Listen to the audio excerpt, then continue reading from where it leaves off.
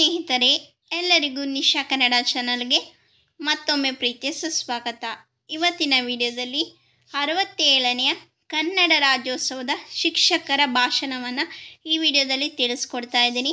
ಈ ವಿಡಿಯೋ ನಿಮಗೆ ಇಷ್ಟವಾದರೆ ಲೈಕ್ ಮಾಡಿ, ಶೇರ್ ಮಾಡಿ, ಸಬ್ಸ್ಕ್ರೈಬ್ ಮಾಡಿ. ಎಲ್ಲಾದರೂ ಇರು, ಎಂತಾದರೂ ಇರು, ಎಂದೆಂದಿಗೂ ನೀ ಕನ್ನಡವಾಗಿರು. ಈ ಒಂದು ವೇದಿಕೆ ಮೇಲೆ ಆಸೀನರಾಗಿರುವ ಮುಖ್ಯ ಅತಿಥಿಗಳೇ, ಮುಖ್ಯೋಪಾಧ್ಯಾಯರೇ ಸಹ ಶಿಕ್ಷಕರೇ, ಪೋಷಕರೇ ಹಾಗೂ ನನ್ನ ಪ್ರೀತಿಯ ಮಕ್ಕಳೇ, ಎಲ್ಲರಿಗೂ ಶುಭೋದಯ ಹಾಗೂ ಅರವತ್ತೇಳನೇ ಕನ್ನಡ ರಾಜ್ಯೋತ್ಸವದ ಶುಭಾಶಯಗಳು. ಈ ಒಂದು ಶುಭ ಸಂದರ್ಭದಲ್ಲಿ ಕನ್ನಡ ರಾಜ್ಯೋತ್ಸವ ಬಗ್ಗೆ ನನ್ನ ಅನಿಸಿಕೆ ನಿಮ್ಮೊಂದಿಗೆ ಹಂಚಿಕೊಳ್ಳಲು ಬಯಸುತ್ತೇನೆ.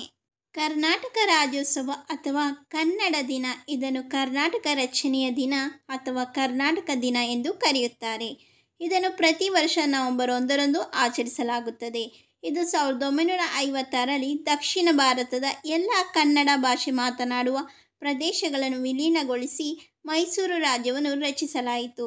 ಸರ್ಕಾರದಿಂದ ರಾಜ್ಯೋತ್ಸವ ಪ್ರಶಸ್ತಿಗಳಿಗಾಗಿ ಗೌರವ ಪಟ್ಟಿ ಘೋಷಣೆ ಮತ್ತು ಪ್ರಸ್ತುತಿಯಿಂದ ಗುರುತಿಸಲಾಗಿದೆ. ಸಮುದಾಯದ ಹಬ್ಬಗಳು, ಆರ್ಕೆಸ್ಟ್ರಾ ಕನ್ನಡ ಪುಸ್ತಕ ಬಿಡುಗಡೆಗಳು ಮತ್ತು ರಾಜ್ಯದ ರಾಜ್ಯಪಾಲರ ವಿಳಾಸದೊಂದಿಗೆ ಅಧಿಕೃತ ಕರ್ನಾಟಕ ಧ್ವಜವನ್ನು ಆರಿಸುವುದು ಕರ್ನಾಟಕ ಹೆಸರು ಬಂದದ್ದು ಕರ್ನಾಟಕ ಪದದ ಮೂಲ ಸಂಸ್ಕೃತ, ಸಂಸ್ಕೃತದ ಕನ್ನಡ ಎಂಬ ಪದದಿಂದ ಕರ್ನಾಟಕ ಹುಟ್ಟಿದೆ. ಕನ್ನಡಿಗರ ನಾಡು ಕನ್ನಾಡು, ಕನ್ನಡ ನಾಡು ಎಂಬುದು ಇದರ ಅರ್ಥ. ಆದರೆ ಕರ್ನಾಟಕ ಎಂಬ ಪದದ ಹುಟ್ಟು ಅಥವಾ ಅರ್ಥದ ಬಗ್ಗೆ ಇನ್ನು ಹಲವು ಅಭಿಪ್ರಾಯಗಳು ಇದೆ. ಕರು ಪ್ಲಸ್ ನಾಡು ಕರುನಾಡು ಎಂಬ ಪದವು ಕರ್ನಾಟಕವಾಯಿತು ಎನ್ನಲಾಗುತ್ತದೆ. ಕರು ಎಂದರೆ ಕಪ್ಪು ಇದರತ್ರ ಕಪ್ಪು, ಮಣ್ಣಿನ ನಾಡು ಎಂದು ಸಹ ಹೇಳಲಾಗುತ್ತದೆ. ಹಳೆಯ ಗ್ರಂಥಗಳು ಇದನ್ನು ಕರ್ನಾಟ ಎಂಬ ಪದದಿಂದ ಪಡೆಯಲಾಗಿದೆ ಎಂದು ಸೂಚಿಸುತ್ತವೆ. ಕೆಲವು ಮೂಲಗಳು ಕರ್ನಾಟಕವನ್ನು ಎತ್ತರದ ಭೂಮಿಗೆ ಅನುವಾದಿಸುತ್ತದೆ. ಉತ್ತರ ಕರ್ನಾಟಕ ಜನತೆಯ ಮಾನ್ಯತೆಗಾಗಿ ಮೈಸೂರು ಎಂಬ ಹೆಸರಿನ ಬದಲು ಕರ್ನಾಟಕ ಎಂದು ಮರುನಾಮಕರಣ ಮಾಡಬೇಕು ಎಂದು ಸಾವಿರದ ಒಂಬೈನೂರ ಎಪ್ಪತ್ತೆರಡರಲ್ಲಿ ಜುಲೈನಲ್ಲಿ ಈ ಬಗ್ಗೆ ಚರ್ಚೆ ಭುಗಿಲೆದ್ದಿತು. ಸಾಕಷ್ಟು ದೀರ್ಘಾವಧಿಯ ಚರ್ಚೆಗಳ ನಂತರ ರಾಜ್ಯ ವಿಧಾನಸಭೆಯಲ್ಲೂ ಇದಕ್ಕೆ ಸರ್ವಾನುಮತದಿಂದ ಅನುಮತಿ ದೊರೆಯಿತು. ಕನ್ನಡ ರಾಜ್ಯೋತ್ಸವ. ಆದೂರು ವೆಂಕಟರಾವ್ ಸಾವಿರದ ಒಂಬೈನೂರ ಐದರಲ್ಲಿ ಕರ್ನಾಟಕ ಏಕೀಕರಣ ಚಳವಳಿಯೊಂದಿಗೆ ರಾಜ್ಯವನ್ನು ಏಕೀಕರಿಸುವ ಕನಸು ಕಂಡ ಮೊದಲ ವ್ಯಕ್ತಿ.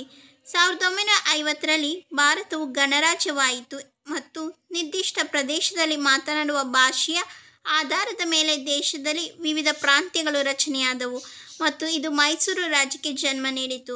ಇದು ದಕ್ಷಿಣ ಭಾರತದ ವಿವಿಧ ಸ್ಥಳಗಳನ್ನು ಒಳಗೊಂಡಂತೆ ಈ ಹಿಂದೆ ರಾಜರ ಆಳ್ವಿಕೆ ನಡೆಸಿದ್ದರು. ಒಂದು ನವೆಂಬರ್ ಸಾವಿರದ ಒಂಬೈನೂರ ಐವತ್ತಾರರಂದು ಮೈಸೂರು ಸಂಸ್ಥಾನವು ಹಿಂದಿನ ಮೈಸೂರು ಸಂಸ್ಥಾನದ ಬಹುತೇಕ ಪ್ರದೇಶವನ್ನು ಒಳಗೊಂಡಿತ್ತು. ಬಾಂಬೆ ಮತ್ತು ಮದ್ರಾಸ್ ಪ್ರೆಸಿಡೆನ್ಸಿಗಳ ಕನ್ನಡ ಮಾತನಾಡುವ ಪ್ರದೇಶಗಳೊಂದಿಗೆ ವಿಲೀನಗೊಂಡಿತ್ತು.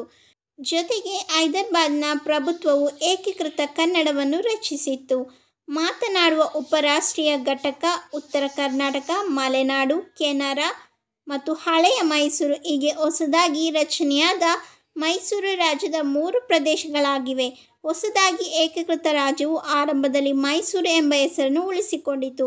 ಇದು ಇಂದಿನ ಸಂಸ್ಥಾನ ರಾಜ್ಯವಾಗಿದ್ದು ಅದು ಹೊಸ ಘಟಕದ ತಿರುಳನ್ನು ರೂಪಿಸಿತ್ತು. ಆದರೆ ಉತ್ತರ ಕರ್ನಾಟಕದ ಜನರು ಮೈಸೂರು ಹೆಸರನ್ನು ಉಳಿಸಿಕೊಳ್ಳಲು ಒಲವು ತೋರಲಿಲ್ಲ. ಏಕೆಂದರೆ ಇದು ಇಂದಿನ ಸಂಸ್ಥಾನ ಮತ್ತು ಹೊಸ ರಾಜ್ಯದ ದಕ್ಷಿಣ ಪ್ರದೇಶಗಳೊಂದಿಗೆ ನಿಕಟ ಸಂಬಂಧ ಹೊಂದಿತು.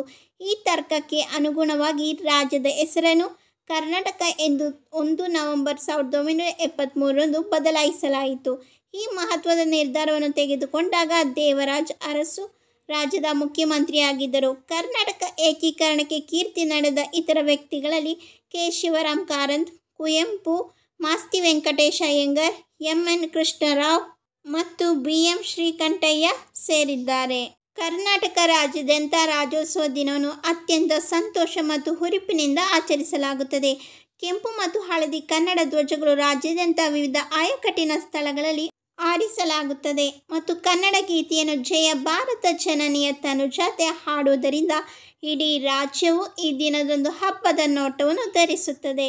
ಅನೇಕ ಪ್ರದೇಶಗಳಲ್ಲಿ ಯುವಕರು ತಮ್ಮ ವಾಹನಗಳಲ್ಲಿ ಮೆರವಣಿಗೆ ಹೊರಟಾಗಲು ರಾಜಕೀಯ ಪಕ್ಷದ ಕಚೇರಿಗಳು ಮತ್ತು ಹಲವಾರು ಪ್ರದೇಶಗಳಲ್ಲಿ ಧ್ವಜವನ್ನು ಆರಿಸಲಾಗಿದೆ ಧರ್ಮ ಒಂದು ಅಂಶವಲ್ಲ. ರಾಜ್ಯೋತ್ಸವವನ್ನು ಹಿಂದೂಗಳು, ಮುಸ್ಲಿಮರು ಮತ್ತು ಕ್ರಿಶ್ಚಿಯನ್ನರು ಕೂಡ ಆಚರಿಸುತ್ತಾರೆ. ಕರ್ನಾಟಕವನ್ನು ನಾಲ್ಕು ಭಾಗಗಳಾಗಿ ವಿಂಗಡಿಸಲಾಗಿದೆ.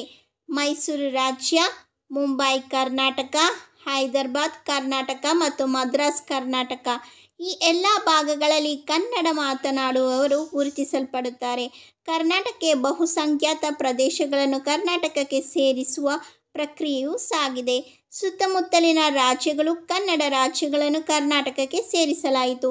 ಅಂತಿಮವಾಗಿ ಸಾವಿರದ ಒಂಬೈನೂರ ಐವತ್ತಾರರಲ್ಲಿ ಕರ್ನಾಟಕ ಏಕೀಕರಣಗೊಂಡಿತು. ಕನ್ನಡ ರಾಜ್ಯೋತ್ಸವ ಕೂಡ ಆರಂಭವಾಗಿದೆ. ರಾಜ್ಯದ ಹೆಸರು ಮೈಸೂರು. ಹಲವಾರು ಐಟಿ ಕಂಪನಿಗಳ ಕೇಂದ್ರವಾಗಿರುವ ಬೆಂಗಳೂರಿನ ಪ್ರಮುಖ ಸಂಸ್ಥೆಗಳು ಉದ್ಯೋಗಿಗಳನ್ನು ಸಾಂಸ್ಕೃತಿಕ ಕಾರ್ಯಕ್ರಮಗಳನ್ನು ನಡೆಸುವ ಮೂಲಕ ಸ್ಥಳೀಯ ಪರವಾಗಿ ಪ್ರದರ್ಶಿಸಲು ಪ್ರೋತ್ಸಾಹಿಸುತ್ತದೆ. ಜನಸಮೂಹವು ಕನ್ನಡ ವಿಷಯದ ಟಿ ಶರ್ಟ್ಗಳನ್ನು ಕೆಲಸದ ಸ್ಥಳಗಳಿಗೆ ಧರಿಸುವ ಮೂಲಕ ತಮ್ಮ ಬೆಂಬಲವನ್ನು ತೋರಿಸುತ್ತದೆ. ಶಿಕ್ಷಣ ಸಂಸ್ಥೆಗಳು ಶಾಲೆಗಳಲ್ಲಿ ಧ್ವಜಾರೋಹಣ ಮತ್ತು ನಾಡಗೀತೆಯ ನಿರೂಪಣೆಯೊಂದಿಗೆ ಇಂತಹ ಕಾರ್ಯಕ್ರಮಗಳನ್ನು ನಡೆಸುತ್ತವೆ. ಈ ಒಂದು ಸಂದರ್ಭದಲ್ಲಿ ಕನ್ನಡ ರಾಜ್ಯೋತ್ಸವಕ್ಕೆ ಮಾತನಾಡಲು ಅವಕಾಶ ನೀಡಿದ ತಮಗೆ ಮತ್ತೊಮ್ಮೆ ಮಗದೊಮ್ಮೆ ನಮಸ್ಕಾರಗಳು. ಸಿರಿಗನ್ನಡಂ ಗೆಲ್ಗೆ, ಸಿರಿಗನ್ನಡಂ ಬಾಳ್ಗೆ, ಕನ್ನಡ ಮನೆಗೆ ಜಯವಾಗಲಿ. ಜೈ ಕನ್ನಡಾಂಬೆ.